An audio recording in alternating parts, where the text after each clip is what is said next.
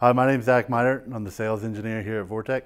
And I'm Steve Prows. I'm an application engineer here at ITW Vortec. And today we're going to be discussing our AC lines and why you would want to choose one of them versus the traditional EC coolers that Vortex has offered. So we're going to go over our different models. Um, we have five of them here at Vortec, and we're also going to go over the benefits to each of them. So we'll start with our traditional Vortex AC, lead into the electric AC, followed by the Haslock AC, then the ATEX AC, and lastly, the Protex AC.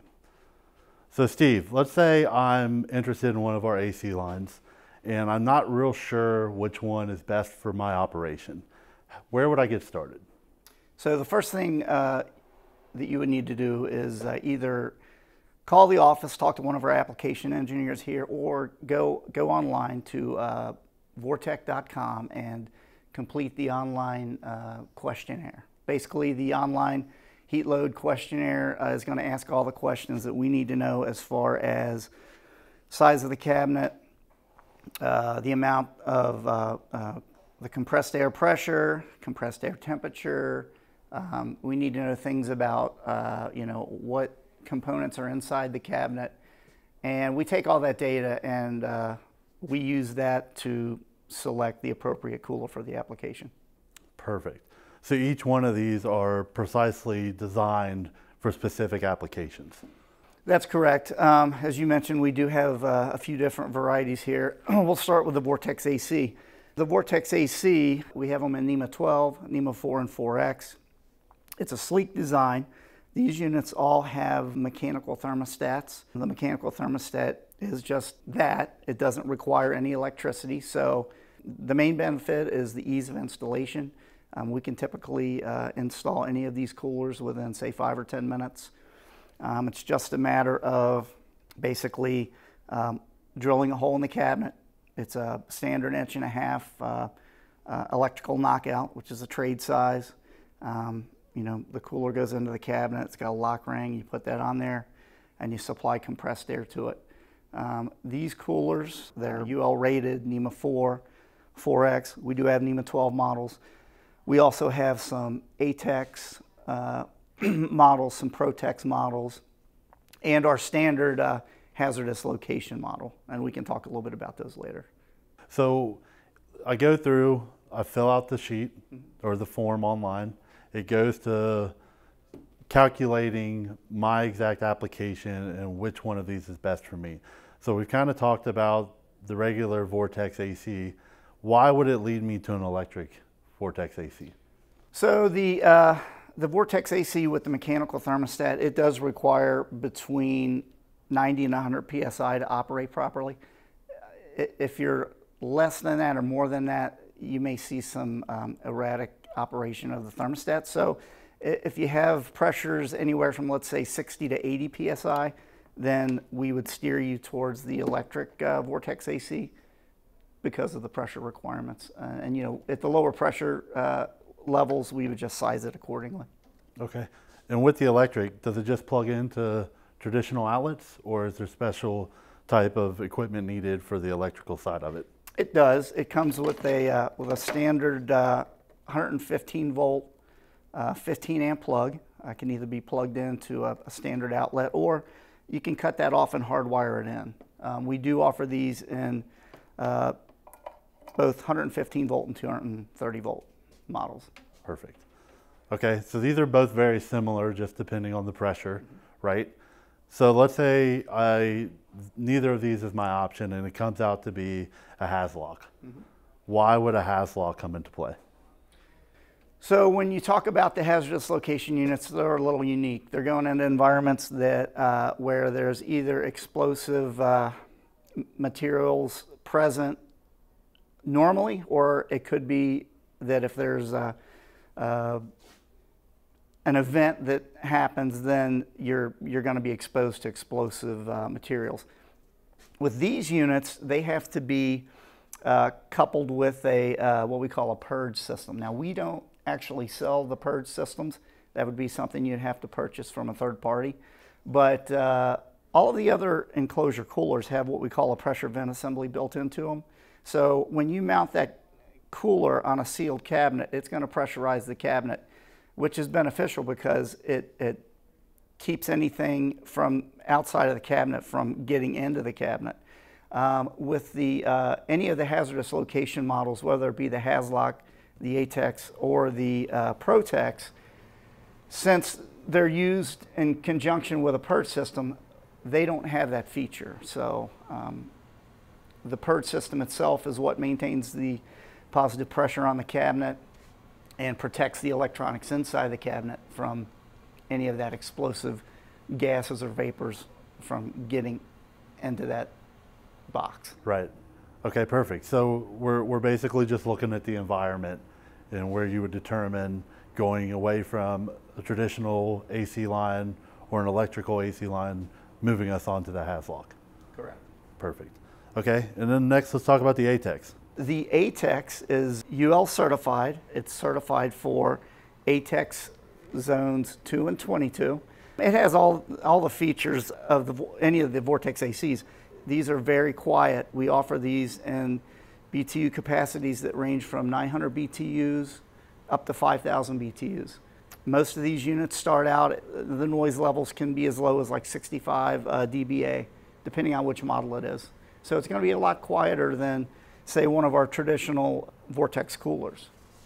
Before we finish up here, kind of run me through some like industry leaders or like typical customers that we would run into with these applications for each model that we've talked about so far?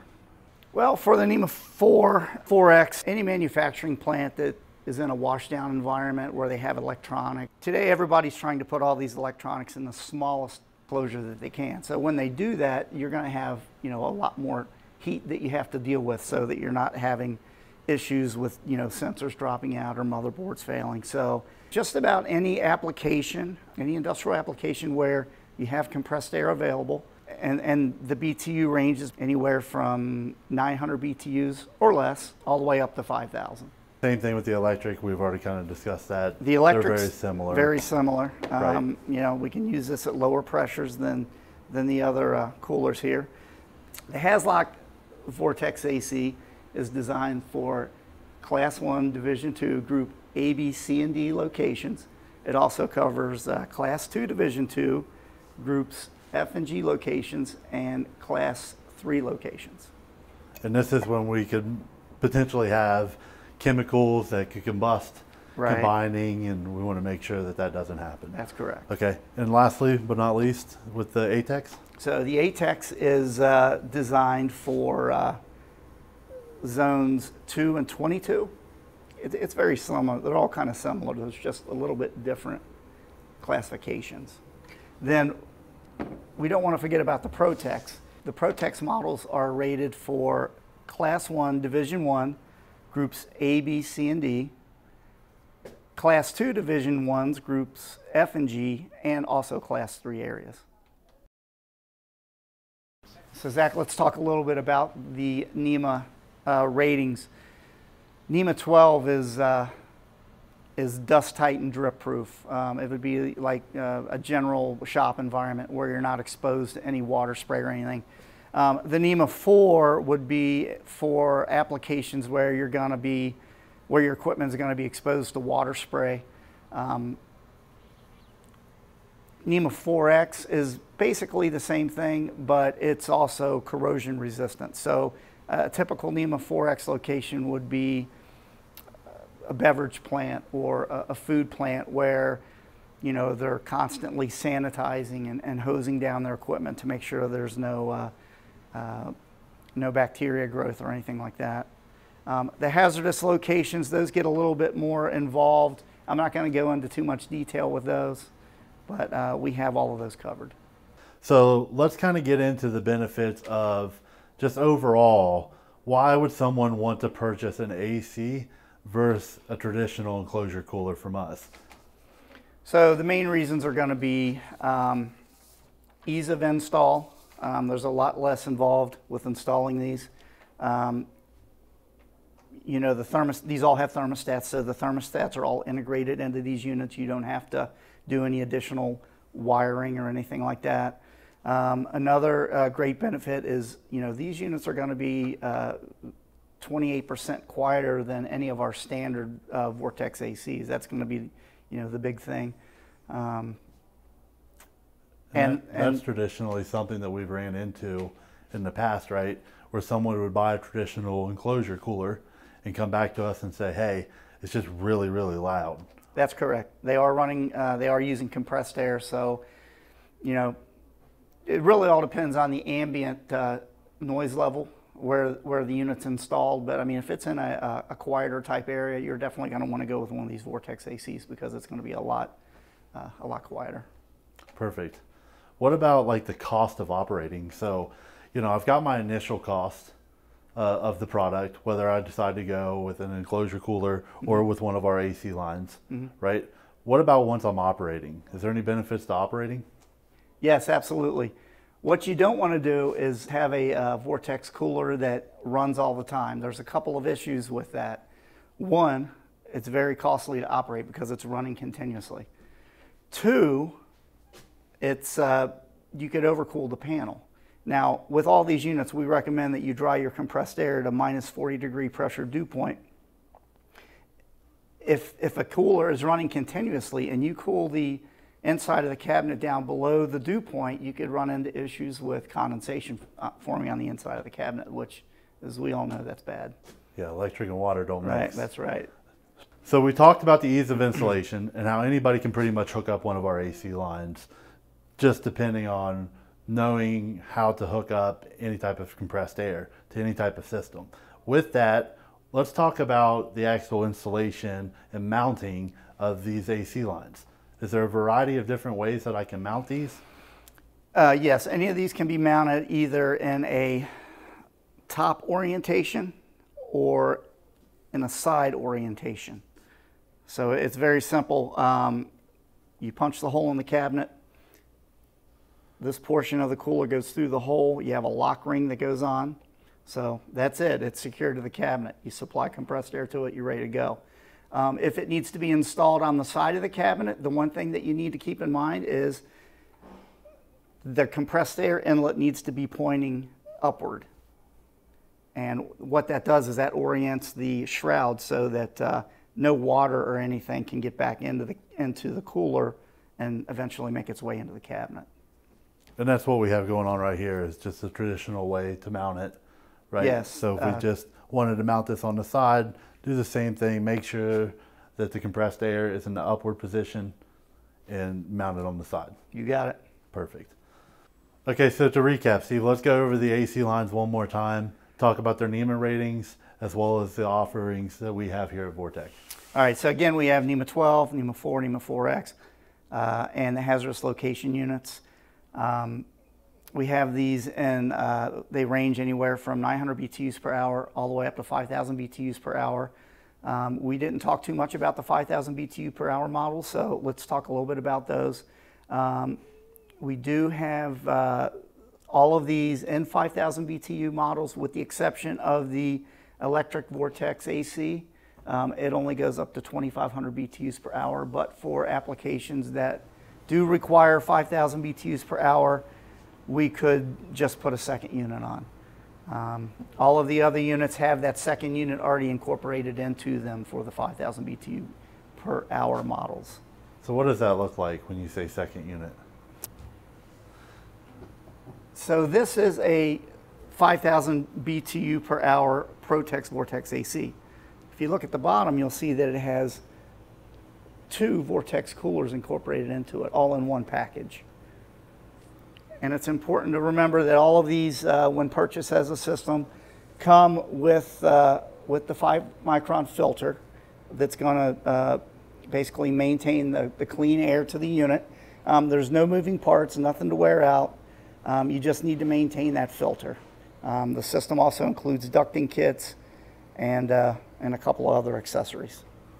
What is kind of the protocol on the filter? You know, it really all depends on the environment. Um, if it's a new compressed air system, um, you may not have to change the element as much. But uh, all of our filters are auto drain. Um, what that means is uh, if there's any any water that accumulates in the lines, um, it gets uh, it would be separated in the filter. There's a float as the level rises, um, it will automatically drain. Um, again, we do always recommend that uh, you supply compressed air that's dry to a minus 40 degree pressure dew point. Um, but really, filter maintenance is going to come down to, it's going to vary depending on the location. So in conclusion, there are several reasons why an end user would want to choose our Vortex AC over our traditional enclosure coolers. The Vortex AC units are rated for hazardous locations. The Vortex AC models are quieter. They are easier to install. They can be top and or side mounted. The Vortex ACs can save operating costs since they are not continuously running. They maintain constant pressure in the cabinet. They can get up to 70 CFM in just one Vortex AC unit instead of purchasing and installing two traditional Vortex coolers. If you would like to learn more about our Vortex AC enclosure cooler line, visit us at www.vortec.com today.